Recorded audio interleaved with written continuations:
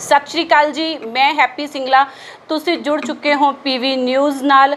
ਕਬਜ਼ਾਧਾਰੀਆਂ ਦਾ ਪ੍ਰਸ਼ਾਸਨ ਨੂੰ ਖੁੱਲਾ ਚੈਲੰਜ। ਜੀ ਹਾਂ, ਗੱਲ ਕਰਦੇ ਹਾਂ ਕਬਜ਼ਾ ਹਟਾਓ ਅਭਿਆਨ ਦੀ।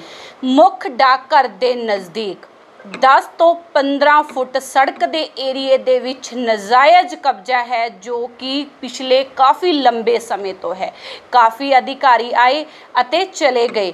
ਲੇਕਿਨ ਕਿਸੇ ਵੀ ਅਧਿਕਾਰੀ ਦੀ ਇੰਨੀ ਹਿੰਮਤ ਨਹੀਂ ਹੋਈ ਕਿ ਜੋ ਇਹ 10 ਤੋਂ 15 ਫੁੱਟ ਸੜਕ ਦੇ ਆਸ-ਪਾਸ ਬਾਉਂਡਰੀ ਬਣਾ ਕੇ ਕਬਜ਼ਾ ਕੀਤਾ ਹੋਇਆ ਹੈ, ਉਸ ਜਗ੍ਹਾ ਨੂੰ ਕਬਜ਼ਾ ਮੁਕਤ ਕਰਵਾ ਸਕਣ। ਜਦੋਂ ਵੀ ਕੋਈ ਅਭਿਆਨ ਚੱਲਦਾ ਹੈ, ਕਬਜ਼ਾ ਹਟਾਓ, ਤਾਂ ਉਹ ਅਭਿਆਨ ਮੁੱਖ ਡਾਕਘਰ ਦੇ ਨਜ਼ਦੀਕ ਆ ਕੇ ਬਿਲਕੁਲ ਆਪਣਾ ਦਮ ਹੈ, ਉਹ ਤੋੜ ਦਿੰਦਾ ਹੈ।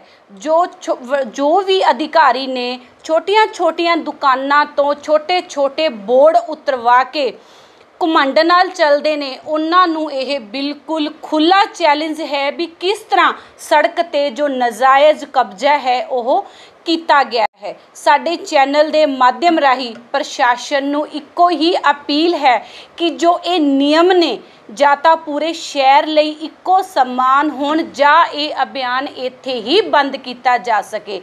ਅਗਰ ਕੋਈ ਛੋਟਾ ਦੁਕਾਨਦਾਰ ਜਾਂ ਰੇੜੀ ਵਾਲਾ ਆਪਣੀ ਰੇੜੀ ਨੂੰ ਸੜਕ ਤੋਂ 2 ਇੰਚ ਸਾਈਡ ਤੇ ਵੀ ਲਗਾ ਲੈਂਦਾ ਹੈ, ਤਾਂ ਉਸ ਦੇ ਡੰਡੇ ਪੈਂਦੇ ਨੇ, ਸੋਟੀਆਂ ਪੈਂਦੀਆਂ ਨੇ ਤੇ ਉਸ ਦਾ ਸਮਾਨ ਵੀ ਨਗਰ ਨਿਗਮ ਵੱਲੋਂ ਚੁੱਕ ਕੇ ਲੈ ਕੇ ਜਾਇਆ ਜਾਂਦਾ ਹੈ ਕਿ ਉਸਨੇ ਜੋ ਕਾਨੂੰਨ ਹੈ ਉਸ ਦੀ ਉਲੰਘਣਾ ਕੀਤੀ ਹੈ। ਲੇਕਿਨ ਇਹ ਜੋ ਨਜਾਇਜ਼ ਕਬਜ਼ਾ ਹੈ, ਇਹ ਕਾਫੀ ਲੰਬੇ ਸਮੇਂ ਤੋਂ ਹੈ। ਲੇਕਿਨ ਕਿਸੇ ਨੇ ਇਸ ਲਈ ਕੋਈ ਆਵਾਜ਼ ਨਹੀਂ ਚੱਕੀ, ਇਹ ਜਗ੍ਹਾ ਨੂੰ ਕਬਜ਼ਾ ਮੁਕਤ ਨਹੀਂ ਕੀਤਾ ਗਿਆ। ਤੁਹਾਡੀ رائے ਇਸ ਬਾਰੇ ਕੀ ਹੈ ਪਲੀਜ਼ ਆਪਣੇ ਕਮੈਂਟ ਵਿੱਚ ਜਰੂਰ ਦੱਸਣਾ ਹੋਰ ਵੀ ਅਪਡੇਟ ਲੈ ਕੇ ਜਲਦੀ ਹਾਜ਼ਰ ਹੋਵਾਂਗੇ ਜ਼ਿਆਦਾ ਅਪਡੇਟ ਲਈ ਜੁੜੇ ਰਹੋ ਪੀਵੀ ਨਿਊਜ਼ ਧੰਨਵਾਦ